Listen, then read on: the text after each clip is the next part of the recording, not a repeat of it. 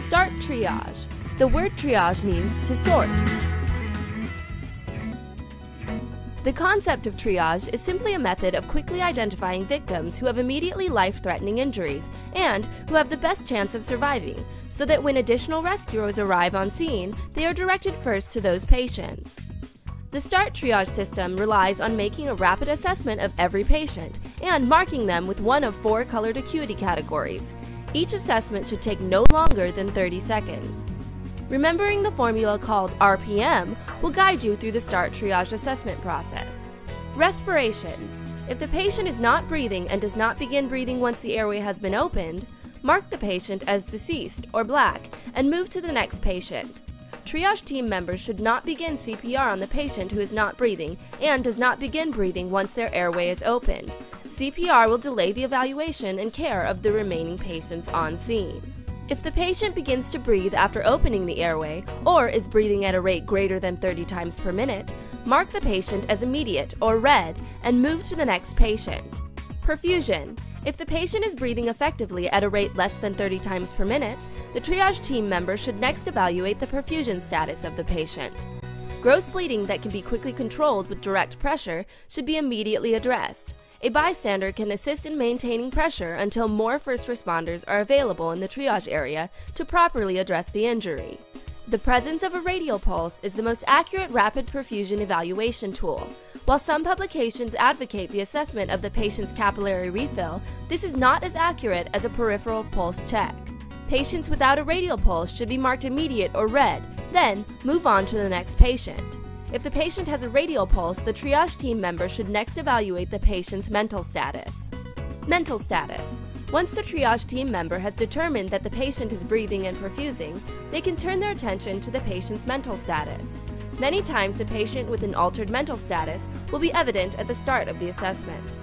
Patients who are confused and cannot answer simple questions should be tagged immediate or red without any further evaluation. If the patient is breathing effectively, has a strong radial pulse, and answers all questions appropriately, but was not able to walk out of the immediate area with the walking wounded, tag the patient delayed or yellow. This patient most likely has an injury that is not life threatening, but will prevent them from moving. San Diego County utilizes the ribbon method for marking patient acuity levels during primary triage. Ribbons or flagging tape have proven to be faster to apply, less prone to errors, and have a higher level of visibility than other methods. After performing START to determine the patient's category, pull out and tear off approximately 2 feet of tape of the appropriate color from the dispenser. Using a standard knot, comfortably tie the ribbon section around one of the patient's uninjured extremities. After securing the ribbon to the patient, utilize the count card on the ribbon dispenser to indicate the acuity category and if the patient was an adult or a pediatric. When a triage member's assignment is complete, the count card is read back to the triage unit leader to provide an accurate tally of patients by acuity. Total count information will be provided to the IC through the chain of command. The triage unit leader will maintain his tally worksheet for accountability and post incident documentation. An optional method for recording a triage patient count is to utilize a section of the ribbon.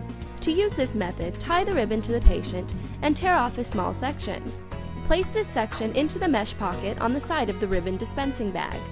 After triage is complete, use these ribbon sections to serve as your count by acuity. This method does not provide for the breakout of pediatrics and adults as afforded by the count card method. Use the method dictated by your triage unit leader. Triage tags are applied to patients as they enter the treatment area after quick secondary triage to confirm or change their acuity category. If treatment areas were not established, the triage tag is applied to the patient just prior to transport. The Disaster Management Systems Triage Tag has been selected by the County Fire Chiefs and the County Paramedic Agency Committee as the preferred triage tag for use in the County of San Diego. Properly utilized, the DMS triage tag provides patient accountability and tracking through the treatment and transport process.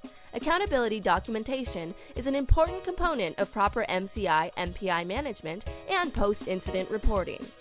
Patient accountability is achieved in the treatment areas, if established, by removing the outer colored category receipt that matches the patient's triage category. The receipt is placed in an accountability log sheet by the treatment area manager. The unique number on the receipt matches that of the triage tag, allowing the area manager to have a complete record of all patients that entered the treatment area.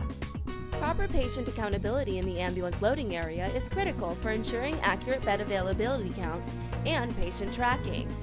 Just prior to a patient being loaded into an ambulance, the transportation receipt located on top of the DMS triage tag is removed by the transportation group supervisor or a scribe.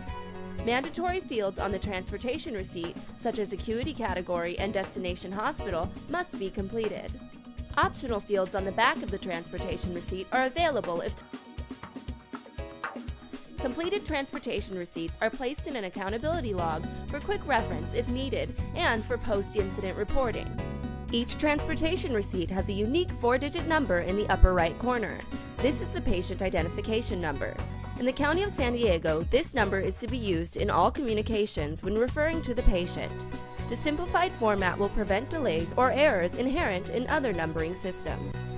The unique four digit number can be found on all components of the triage tag for full reference through the treatment, transport, and hospital admissions process. There are several other components of the DMS tags designed to increase efficiencies at scene, which should be reviewed during training or multi company drills. Multiple casualty incidents are low frequency, high risk events where first responders and transport providers can feel overwhelmed. This feeling can lead to uncertainty and poor decision making if you are not ready for the challenge. The key to becoming proficient is practice. Take the opportunity to practice these principles on smaller, more common multiple patient incidents. Drill often on the individual components instead of the entire process. When you have a good understanding of each position, you will see the big picture and feel less overwhelmed by the nature of the event.